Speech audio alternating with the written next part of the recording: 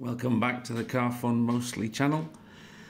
At the weekend we did a endurance race called the Digipalooza at the uh, National Slot Car Centre in Rockingham and this was our GT3 entry. It was a sideways Lamborghini Huracan. You've probably seen it in another video that I've done but this is its first post-race analysis, tear down if you like and I'll tell you a little bit about how the car went during the race. So, um, the race was split into two 90 minute segments. I believe there were two separate races, but the results were announced as cumulative. I'm not exactly sure why, but we didn't go completely clear through the two races. In the first race, we had some problems with the car and we ended up stopping it, checking it out thoroughly, repairing it, and sending it for the second race, where we did a solid, uh, solid race and got a podium position at the end. Uh, one thing that happened to the car during the uh, tech inspection in between the two races is we lost a wheel trim insert there. They were both black ones like this or coloured in black and I'd lost one so we had to glue another one of those in. We also had some issues with ground clearance underneath the motor but I'll cover that in a separate video. So as you can probably tell this rear wing isn't the way it's meant to be. One of the regulations is that you must maintain a rear wing on the car and unfortunately this one had seen some action before the event and it's super glued to the body shell. It's a rubber wing, it's a stock item but one leg of that rubber wing let go of the uh, boot lid and it was flailing behind the car with about, I don't know, two or three minutes before the uh, half distance driver change. So we prepared super glue, and uh, during the driver changeover, we have a one minute mandatory pit stop. So that's that gives time for the driver and the marshal to exchange positions. I managed to get a replacement marshal, and I put a dab of super glue on the boot lid and tried to hold this in place while it set up. Well, it took most of the minute, and it hadn't set up at all. So I spat on it to give it some aqueous solution shall we say, which helps to set super glue. And we sent it out about 20 to 30 seconds late in the second pit stop. That was during the first race. And it's now post second race, so we'll take a look around and see what we can find. First of all, I'm going to look, take a close look at the braid. The braid stayed in quite good condition. It's tinned braid and it's just beginning to go coppery at the front edge. They're still laying reasonably flat. They're not bent up and twisted. Um, they were flattened in between races marginally just by thumb pressure like this. Um, one change that we made during qualifying was to put some sticky tape on the motor pod here. This was to control somewhat the pod motion in the car, particularly the roll motion it was a handling adjustment really. Um, we found that when the car got to the limit and swung the tail out, it would go pretty big and pretty violently. Those are the only descriptions I can use. And when we did this additional little bit of taping here, we found that the car would stay flatter. It would look a little bit flatter in the in the turn. It would handle a little bit more consistently and when it let go, it didn't let go in such a violent fashion. Uh, so we left it on and ran like that. We actually had a piece that went all the way across here at one point during the race, uh, during the qualifying, but we removed that to aid in the height of the motor from the track. Anyhow, we'll remove the body shell and see if there's anything else inside that's telling us a story. Oh, the Tipp-Ex marks. They're all still there. None of it's absolutely worn off. I think that one might have touched the track a little during the race. That one a little less. There's a little bit of dirt on the face of the Tipp-Ex. That one's still there, and most of that one is gone. But this is done two 90 minute races plus practice plus qualifying. So I'm not. I'm going to say that they weren't touching. It wasn't touching the track too much at all. I'm not too concerned if it does touch the track in the odd spot. If there's a high spot on the track on the circuit, you certainly don't need to set up just to clear that one spot. Okay, so body screw out there, and that one's not going to fall out because of the guide. So in the first 90 minute race, we had a lights failure, and that needs to be repaired ASAP during green flag running. And when I took the body shell off, I discovered that the lighting chip here was not attached to the chassis. Now I'd fixed that with some with three one millimeter thick double-sided tape squares. These squares are ooh, you can see the edge of one here perhaps. They are probably I'm going to guess not guess I'm going to use my mind measure about five millimeters square and those when I went inside and I found this thing dancing around still attached to this plug, but it wasn't at all attached to these wires coming from the power supply. Um, I had two solder joints to do, one on this corner and one on this corner. Both wires remain attached to the chassis just there in a small bob of glue. So what I did about it was resoldered and I refitted with three thicker sticky back pads and they are failing or this one is anyway. Let's investigate a little further. So two of the three have continued to hold. And they were holding pretty good.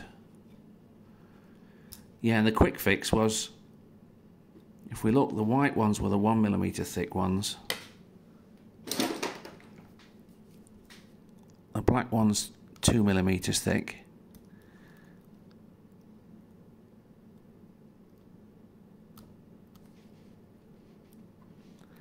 And the white ones are, well, had they come off the chassis? There's a piece of the white one left on there. Looks like the paper taping between the sticky pads had actually split.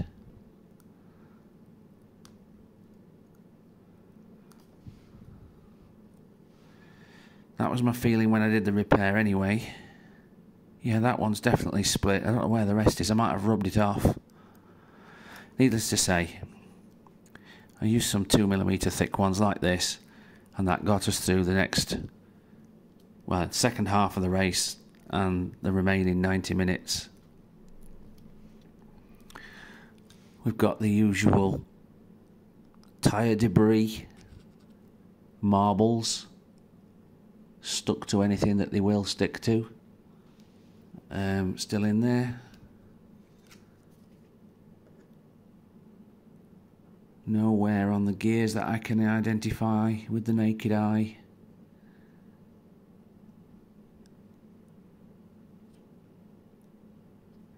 Everything's still in place. The Hall sensor here is held secure. The digital chip, which is mounted on the same black sticky squares, has stayed in.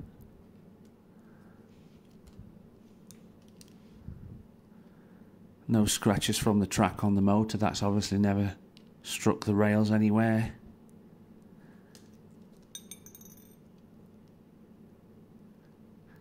One thing that did happen between the races, uh, because of the ground clearance regulation, I was forced to fit a second pair of rear tyres. Most teams would do that, I think. And I noticed that when I put the new tyre on this wheel, I left the wheel in exactly the same place, that we started the second 90 minutes with the edge of the tyre touching the face of the pinion gear here but only in a certain spot as it rotated. Oh, look, we've got the tiniest little bit of end float in the axle.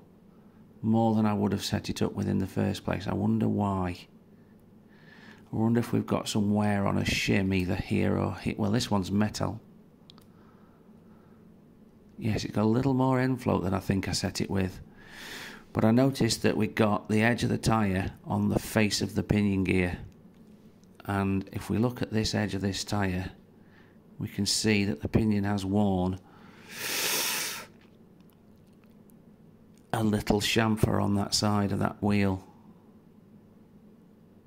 So, why that happened, I have no idea unless the tyre, then the, the second tyre we fitted to this corner was different to the first.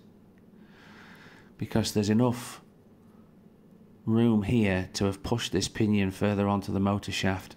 Either that or the motor has gained end float. No, it hasn't.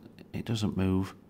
Needless to say, I knew I was starting. there. I wasn't allowed to change this, but because uh, the car's in parc ferme after all, um, we ran, started the second race in the, with a little bit of tightness here, a little bit of friction, and I could feel it in the way that the car was rolling or not rolling. But even now, if I push on that one, there's no binding because it's taken the edge off the tyre. Obviously, it improved during the race. Good enough for third position. Uh, I don't know if I mentioned it, but you may have noticed that the guide in the first video had a kind of brown colour, and that's because I had it got I'd got it wrapped in Kapton tape. I'm beginning to come to the conclusion that Kapton tape's pretty good in friction. I've seen guides on wood track that are wrapped in Kapton tape and they last. And I thought I'd try that just to minimise the wear and tear on my guide. But what we noticed during practice was that there were certain places, just certain track pieces in certain lanes around the lap that would uh, if you were running slowly enough, they would the guide would jam in there, and the Kapton tape began to get damaged. So I uh, removed it, and my guide is 1.6 millimeters thick, 1.59. That's interesting. That being the SICH10. I don't think there's any additional guide wobble. Very, very good. Oh, there's a little tiny bit more than there was at the start. But that's to be expected.